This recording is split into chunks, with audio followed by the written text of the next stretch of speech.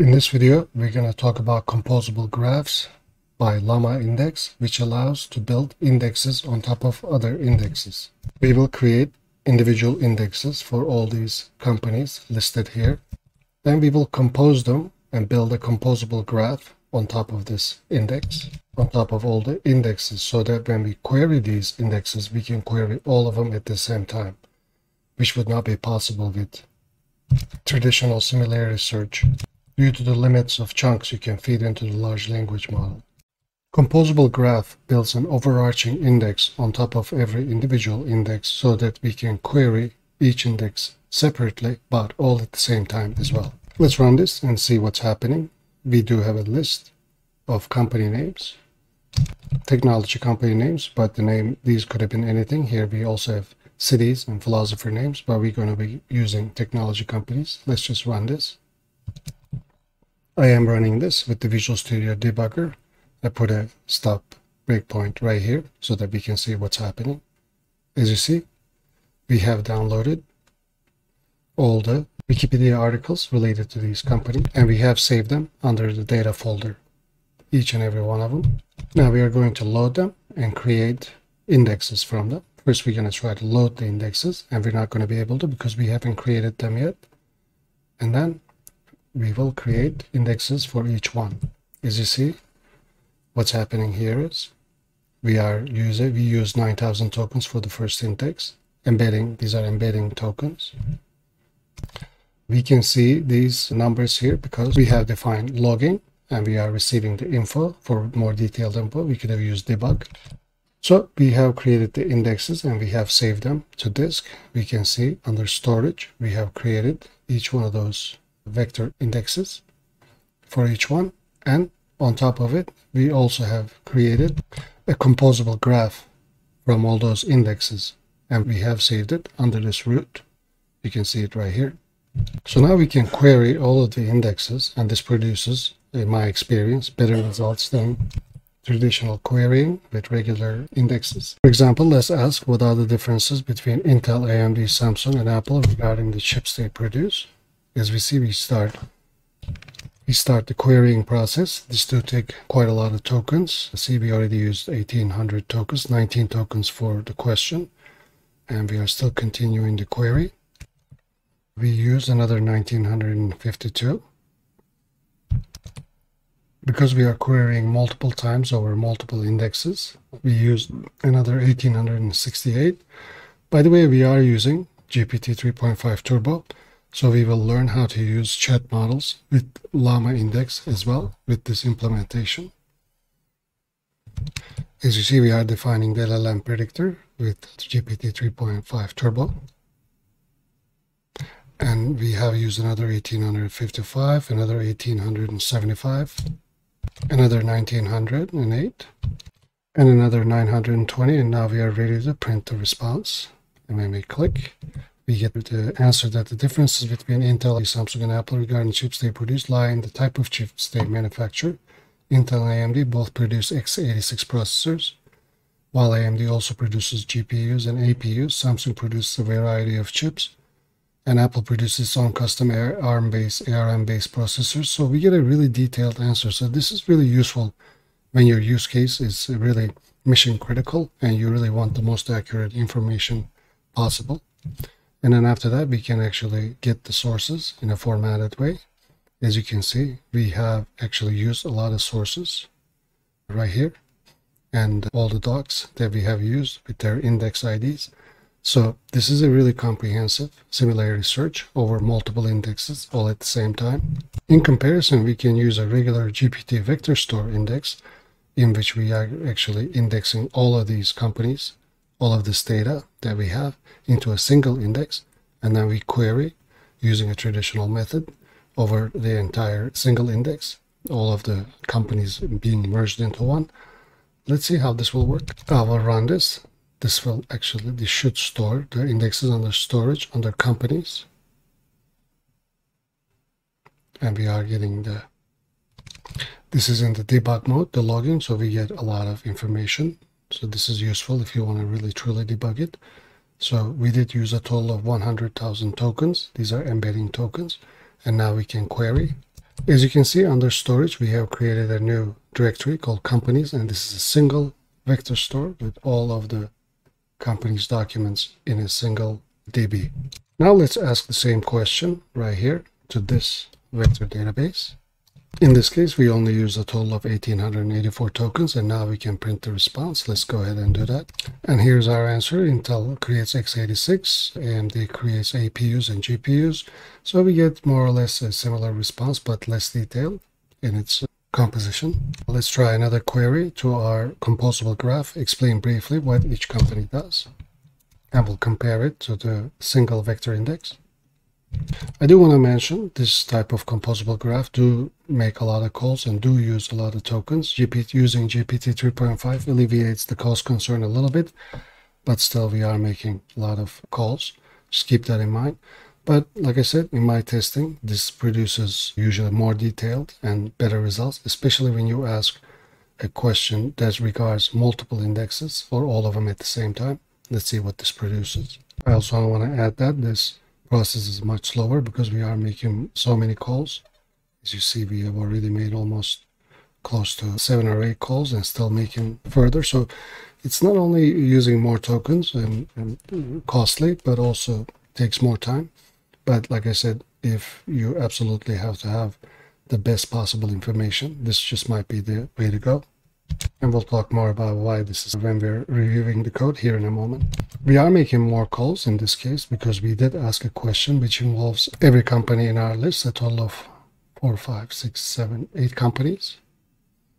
Here is our answer. We actually got a really detailed answer, including AMD, Global Foundries, Apple, Google, Intel. It also includes Dell and Lenovo. We have Microsoft, Nvidia, HP, because probably these are mentioned in the in one way or another in all these Wikipedia articles, but we got all of ours with detailed explanations of what they do.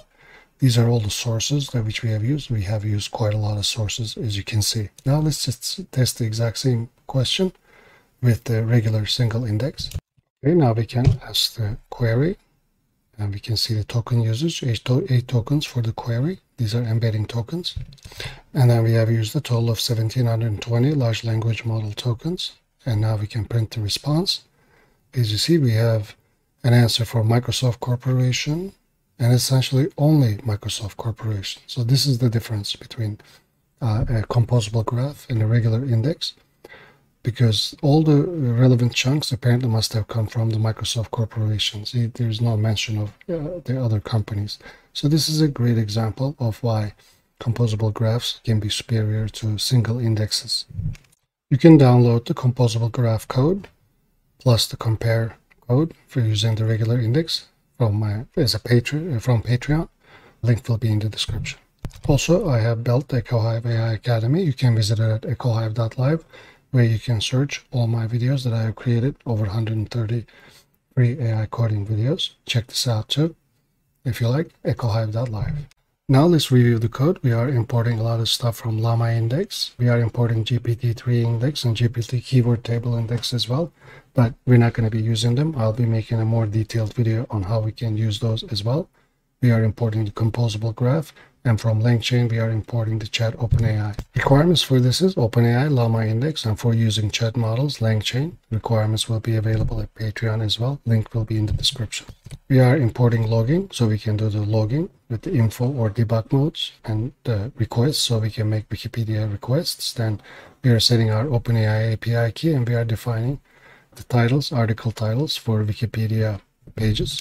These can be anything. As you can see, I've included some other examples. Just remember that when you we do need summaries for these indexes, which we dynamically create right here. So this document is an article about technology company and the name dynamically is inserted.